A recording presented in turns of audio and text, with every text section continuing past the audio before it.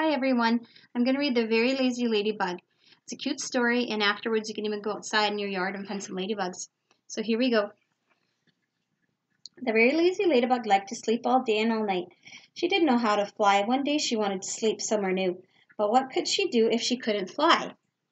Then the ladybug had a very good idea. When Kangaroo bounced by, Ladybug hopped into her pouch. But Kangaroo liked to jump. I can't sleep in here, cried Ladybug. It's far too bouncy. So when Tiger walked by,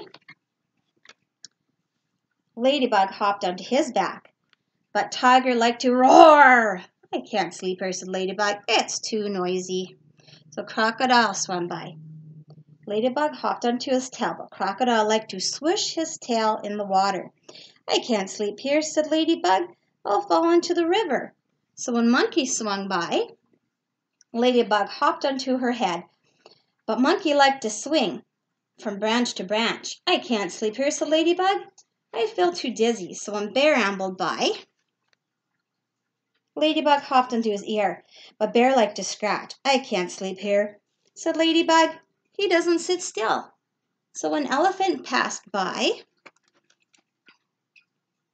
Ladybug hopped onto his trunk.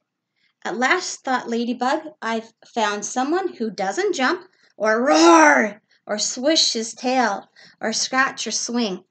But at that very moment, Elephant sneezed, Achoo! And the lazy ladybug learned to fly at last. And that's the end. I hope you liked the story, and I'll see you another time and do some more. Bye.